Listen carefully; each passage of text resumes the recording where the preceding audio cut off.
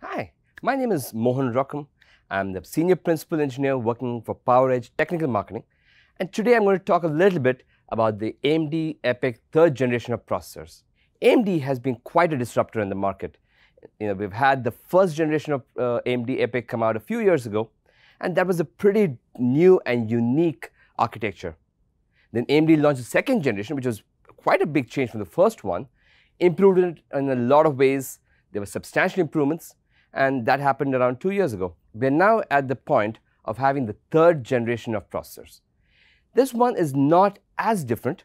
We have a few changes architecturally, but it still has the same uh, chiplet design, the same 12 nanometer uh, IO die and the 7 nanometers compute dies, still has PCI Gen 4, still has the same socket, and still has, you know, uh, overall architecturally is very similar to Gen 2. So it builds on Gen 2. So what is different?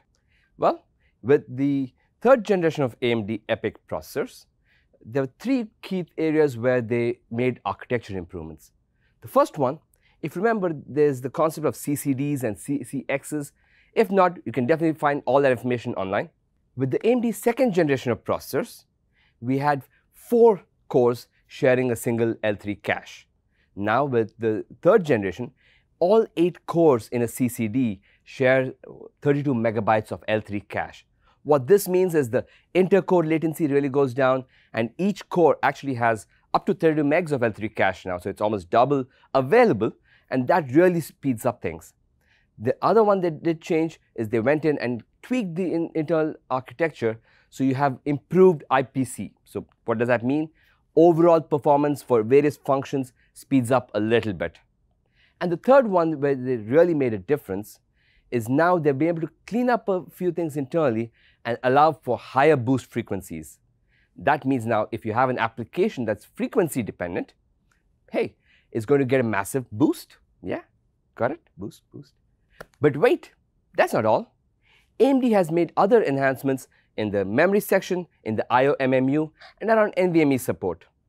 In the IO MMU, which is the IO memory management uh, interface, what they've done is they now have made tweaks which allow you to get closer to line rate when you have, say, a two-port 100 gig NIC connected to PCI Gen 4. That wasn't really possible with PCI Gen 3. Uh, the other area where they've done is they now support surprise hot plug remove. So if you want to plug out an NVMe drive, that's the CPU now enables it. Make sure to verify your OS supports that before you go pulling out drives. That's not the best thing always. And then they have made changes around memory. So they went in there and cleaned out the memory so the latency is really much improved at this point.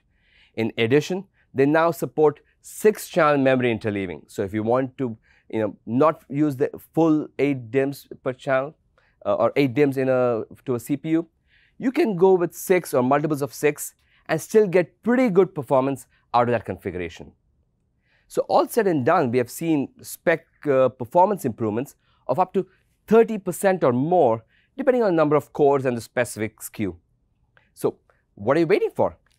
The AMD third generation of processors is fantastic. Go check them out.